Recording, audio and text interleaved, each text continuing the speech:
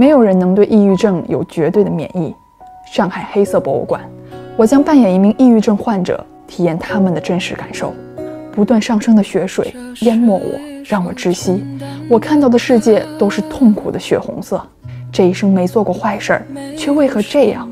生活就像走在水床上，每一步都在下陷，寸步难行的疲惫，毫无防备的下坠，连吃饭、穿衣、刷牙都力不从心。起床就已经耗完了全部力气。从前最喜欢的食物、最爱玩的游戏，全都索然无味，只想躺在床上默默流泪。原来活着就用尽了全力。抑郁症的反面不是快乐，而是活力。这种对生活失控的无力感，常常被误解为懒惰和矫情。没有人会对哮喘病人说“大口呼吸不就好了吗”，却有人对抑郁症患者说“想开点不就好了吗”。没人觉得我病了，他们只觉得我错了。得这种病的人大多心软善良，因为不忍心伤害别人，而最终伤害了自己。如果你觉得人生像这个屋子一样黑暗，或许再多坚持一下，就会迎来光明和救赎。